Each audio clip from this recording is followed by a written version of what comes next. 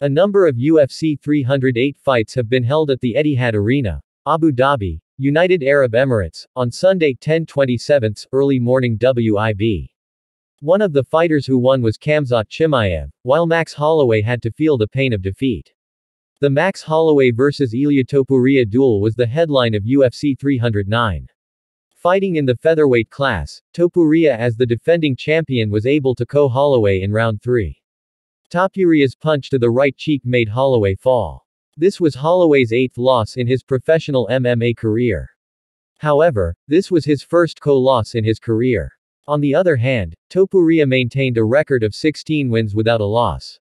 Another equally exciting fight took place in the middleweight class, when Khamzat Chimaev defeated Robert Whittaker. The Chechen-born fighter forced a victory via a face crank in the first round. Chimaev still maintains a record of 14 wins and no losses. On the other hand, Whittaker tasted the eighth defeat of his career.